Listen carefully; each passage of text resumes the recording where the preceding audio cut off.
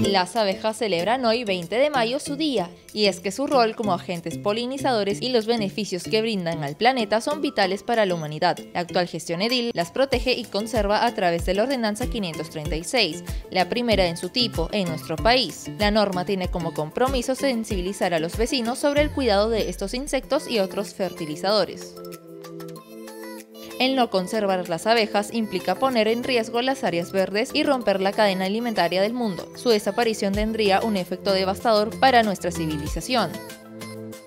Las colmenas que fabrican en los espacios públicos de nuestra jurisdicción son rescatadas por nuestra comuna y reubicadas en el apiario municipal ubicado en Bajada Balta. Miraflores cuida la biodiversidad y el medio ambiente.